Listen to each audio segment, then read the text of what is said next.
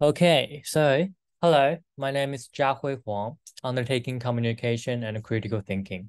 So today I will be presenting one strategy that could mitigate the urban heat island effect, so which is constructing cool pavements. And there are two effective ways to mitigate urban heat island effect under constructing cool pavements. So one is using reflective reflective pavements, and the other one is using water retaining pavements. So firstly, using reflective pavements, according to Dollars, is one of the most cost-effective and efficient method to reduce the surface temperature. And this movement will not only benefit in the reduction of carbon dioxide emission, but also improve the environment. Since light-colored and conventional man-made surfaces both have high solar reflectance and high solar capacity.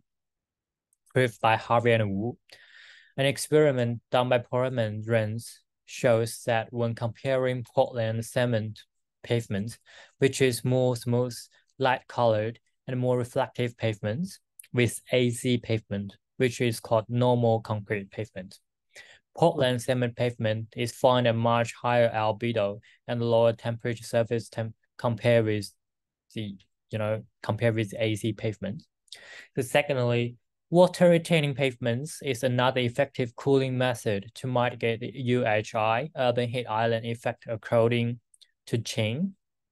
This kind of pavement is expected to remain cooler longer than any other pavements. Water retentive pavements reduce the surface temperature through slurry.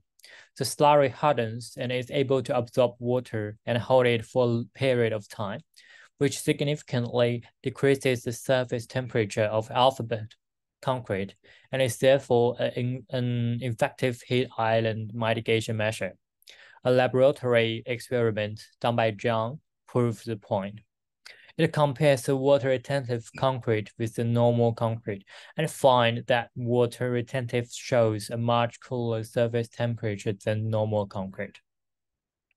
So in conclusion, reflective pavements made with light-colored or smooth or conventional man-made materials can significantly reduce the pavement surface temperature.